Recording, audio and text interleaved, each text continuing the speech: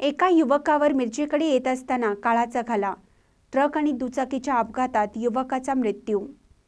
मिरजेतील वंटमुरे कॉर्नर हा रोड एक वाहतुकीसाठी रहदारीचा आहे पण या रोडची दुरावस्था झाली असून हा रोड रहदारीचा देखील या रोडवर मोठे खड्डे पडले आहेत.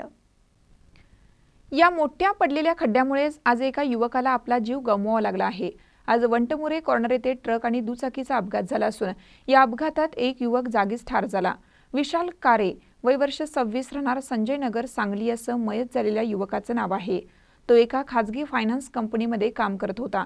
तो आपल्या कामावरून वंटमुरे कॉर्नर येथून मिरजकडे येत असताना खड्डा चुकवायला जाऊन दुचाकी आणि ट्रकचा अपघात झाला आणि यामध्ये त्याचा मृत्यू झाला अशी प्राथमिक माहिती घटनास्थळावरून मिळाली आहे.